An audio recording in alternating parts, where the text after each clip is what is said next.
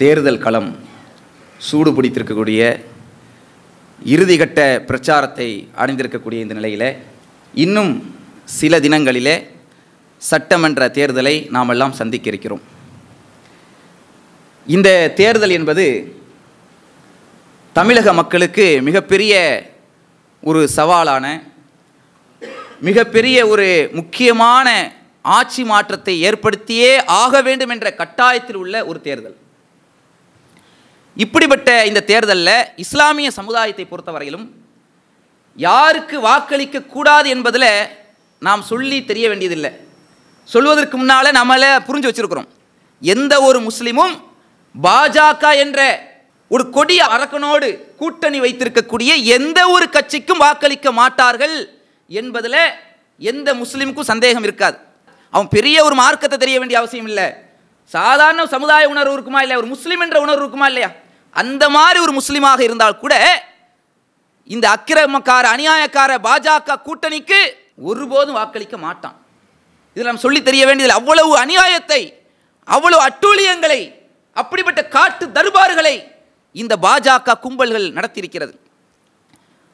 அந்த பாஜகவுடன் கூட்டணி வைத்திருக்கக்கூடிய அதிமுக அடிமை அரசாங்கம் இன்றைக்கு நம்மை ஆண்டு கொண்டிருக்கக்கூடிய தமிழகத்தை ஆட்சி புரிந்து கொண்டிருக்கக்கூடிய இந்த அதிமுக என்று சொல்லக்கூடிய ஒட்டுமொத்த மக்களுக்கும் துரோகம் இழைத்த கட்சி அது இஸ்லாமியர்களுடைய வாக்குகளை வாங்கி ஆட்சியிலே உட்கார்ந்து கொண்டு இஸ்லாமியர்களுக்கே துரோகம் இழைத்த ஒரு மிகப்பெரிய ஒரு அநியாயத்தை செய்த ஒரு கட்சி என்பதை நாம் மறந்துவிடக்கூடாது சிஏஏ என்ற ஒரு சட்டத்தை கொண்டு வருவதற்கு அதை சட்டத்தை இயற்றது பாஜகவாக இருக்கலாம்.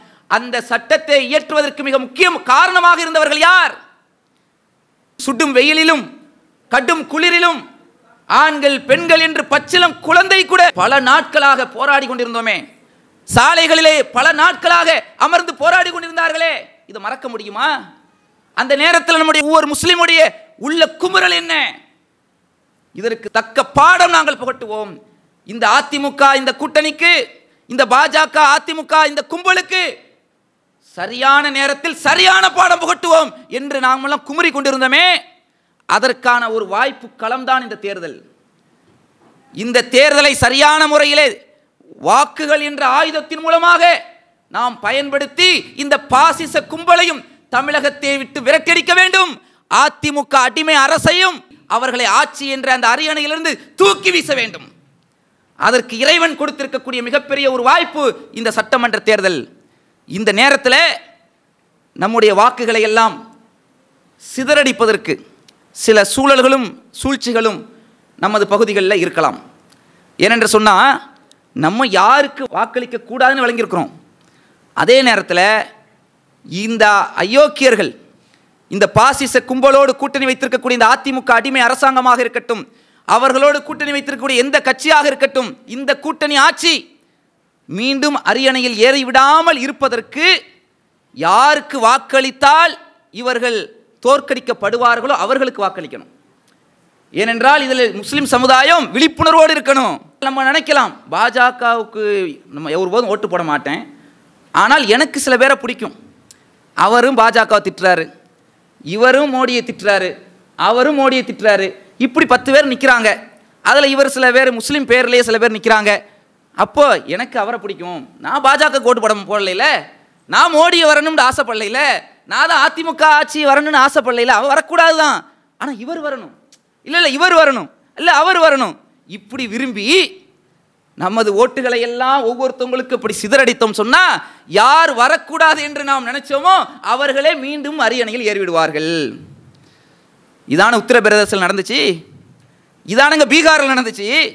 இஸ்லாமியர்கள் சிறுபான்மையினர்களுடைய வாக்குகள் எல்லாம் சிதறடிக்கப்பட்டு யார் ஆட்சி கட்டிலில் உட்காரக்கூடாது என்று ஓட்டு போட்டாங்களோ அவர்களே மீண்டும் அரியணையில் ஏறினாங்களா இல்லையா? ஆக அன்பிற்குரியவர்களே இவர்கள் எங்கெல்லாம் ஆட்சி புரிகிறார்கள்? இந்த பாஜக கும்பல் எங்கெல்லாம் ஆட்சி கட்டிலில் உட்கார்ந்திருக்கிறதோ அங்கெல்லாம் எவ்வளவு பெரிய காட்டு தர்பாரை நடத்தி கொண்டிருக்கிறார்கள்? உத்தரப்பிரதேசத்தில் இன்றைக்கு முஸ்லிம் சமுதாயம் கண்ணீர் வடித்துக் கொண்டிருக்கிறார்களே. தினம் தினம் இளம் பெண்கள் கற்பழிப்பு ஒரு பக்கம் மத வன்முறைகளை தூண்டி பல்வேறு கலவரங்களை தூண்டி எத்தனை அட்டூழியங்கள்? பசுவின் பெயரால் எத்தனை படுகொலைகள்? ஜெய் ஸ்ரீராம் என்று சொல்ல சொல்லி எத்தனை படுகொலைகள் எத்தனை தாக்குதல்கள் வன்முறைகளை கட்டவிழ்த்து விட்டிருக்கிறார்கள்? இது போன்ற வன்முறைகளை ஏற்படுத்தக்கூடிய வேலையை தமிழகத்திலும் ஏற்படுத்துவதற்கு இந்த பாசிச கும்பல் துடித்துக் கொண்டிருக்கிறது. இன்னைக்கு பாருங்க சமீபத்தில் கோயம்புத்தூரில் அந்த ஊப்பியினுடைய முதல்வரை கொண்டு வர்றாங்க தேர்தல் பிரச்சாரத்துக்கு. அவங்க எவ்வளோ பெரிய ஒரு அயோக்கியங்கிறது எல்லாருக்கும் தெரியும். எவ்வளோ பெரிய அங்கே காட்டு தர்பாரை நடத்திக்கிறதுக்கான்னு தெரியும். அவனை வரவேற்பதற்காக ஒரு கு- ஊர்வலத்தை நடத்துகிறாங்க அந்த ஊர்வலத்திலே எவ்வளோ பெரிய அட்டூழியங்கள் பாருங்கள் அதில் ஊர்வலத்தில் அமைதியாக நடத்துனாங்களா? அந்த சாலை ஓரம் வைத்திருக்கக்கூடிய இஸ்லாமியர்களுடைய கடைகளில் கற்களை தூக்கி வீசுகிறார்கள். இவர்கள் தேர்தலில் நிற்கும் போதே இந்த அட்டூழியம் என்றால் இவங்கள்லாம் ஜெயிச்சு வந்து உட்கார்ந்தாங்கன்னா என்ன நடக்கும்?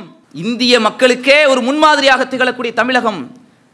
இஸ்லாமியர்களும் பிற மத சகோதரர்களும் மாமன் மச்சான்களாக அண்ணன் தம்பிகளாக ஒற்றுமையோடு அமைதி பூங்காவாக திகழ்ந்து கொண்டிருக்கக்கூடிய இந்த தமிழகத்தில் மத வன்முறைகளை ஏற்படுத்தி சுடுகாடாக மாற்றுவதற்கு முயற்சி எடுத்துக் கொண்டிருக்கக்கூடிய கும்பல் தான் இந்த பாஜக கும்பல். அதற்கு துணை போகக்கூடியவர்கள் தான் இந்த அதிமுக அடிமை அரசாங்கம் என்பதை நாம் தெளிவாக புரிந்து கொள்ள வேண்டும். இவர்களை வரவிடாமல் தடுக்க வேண்டும் என்றால் இவர்களுக்கு நிகராக வலுவாக எந்த கட்சி இருக்கிறார்களோ அவர்களுக்கு ஒட்டுமொத்தமாக நம் சமுதாயம் வாக்களித்தால் தான் இவர்களை தோற்கடிக்க முடியும். இல்லை சிதறடிச்சோம். அவ்வளோதான் முடிஞ்சிச்சு. கோவையில் மட்டும் இந்த வன்முறை இப்போ அவங்க கட்டவிழ்த்து விடலை.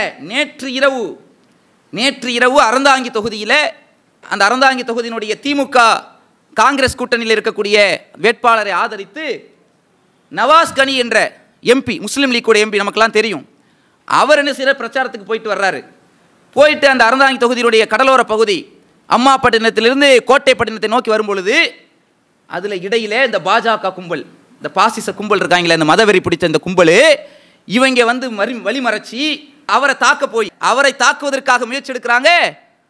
ஆனால் அந்த டிரைவர் கொஞ்சம் சாமர்த்தியமாக முயற்சி எடுத்ததுனால அவருடைய கார் தாக்கப்பட்டது. பின்னாடி அவரோடு ஓட்டுக்கிட்டு வந்தாங்களே சில இஸ்லாமிய கட்சியை சேர்ந்த சில சகோதரர்கள் அவர்களையும் தாக்கி கொடூரமாக தாக்கி அவர்களுடைய பைக் வாகனங்களை பிடுங்கி வைத்துக்கொண்டு பல்வேறு வன்முறைகளை நேற்றிரவு இவ்வளவு அநியாயத்தை செய்கிறாங்கன்னா இவங்களை எல்லாம் ஆட்சியில் உட்கார வைக்க முடியுமா? இவங்களை ஆட்சியில் உட்கார வைக்க நம்ம விளங்கி வைத்திருந்தாலும் நம்மளுடைய வாக்குகளை சரியான முறையில் பயன்படுத்தினாதான் உட்கார மாட்டான். வாக்குகளை சிதறடிச்சிடக்கூடாதே. நம் சமுதாயத்து இவர் முஸ்லீம் தானே அவர் முஸ்லீம் தான். சில பேர் முஸ்லீம் பேரில் நிற்பாங்க இவர் நல்லவர் தானே நல்லவரா இருக்கலாம். அவங்களுக்கு உள்ளாட்சி தேர்தல் வாக்களிக்க வாய்ப்பு கொடுப்போம். ஆனா இந்த தேர்தல் ஒரு சவாலா இருக்குதா இல்லையா? பாசிசமா மதசார்பற்ற ஒரு நிலையில உள்ள ஆட்சியை விரும்புகிறோமா என்பதற்கான ஒரு மிகப்பெரிய ஒரு போட்டிக்களமாக இருக்கிற நேரத்தில் நம்முடைய வாக்குகளை சிதறடித்து விடாமல் எதிர்க்கட்சியா ஆளும் கட்சியா என்ற ஒரு நிலையிலே யாருக்கு வாக்களித்தால் இது போன்ற இந்த அநியாயக்கார அக்கிரமக்கார ஆட்சியை விட்டும் இந்த சமுதாயத்தை பாதுகாக்க முடியுமோ? இந்த கொடூரமான மோசமான ஆட்சியாளர்களை அரியணையிலிருந்து தூக்கி வீச முடியுமோ?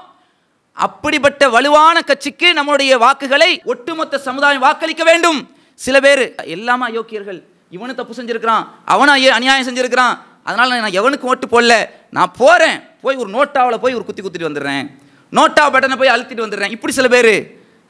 எந்த நேரத்தில் எப்படிப்பட்ட ஒரு மக்கள் இன்னைக்கு இருக்கிறாங்கன்னு பாருங்க. நோட்டாவுக்கு போடுறதுக்கு போடாமல் இருந்துடலாம். அது வேஸ்ட் அது. அப்போ நம்முடைய வாக்குகளை வீணடித்து விடக்கூடாது. வாக்குகளை சரியான முறையில் பாசிச கும்பலை வீழ்த்தக்கூடிய ஒரு ஆயுதமாக மாற்ற வேண்டும் என்று சொல்லி எனது உரை நிறைவு செய்கிறேன். வாஹிர் தவான் அலமதுல்லாஹி ரபில் ஆலமி அல்லாஹ்!